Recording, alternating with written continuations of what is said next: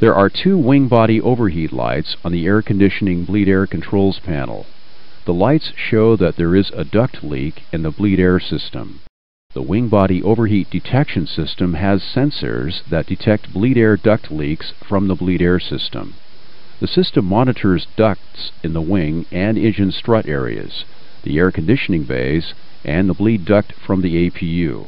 When the left wing body overheat light illuminates, the system has found a leak in the left side of the bleed air system, which includes the duct from the APU. When the right wing body overheat light illuminates, the system has detected a leak in the right side of the bleed air system.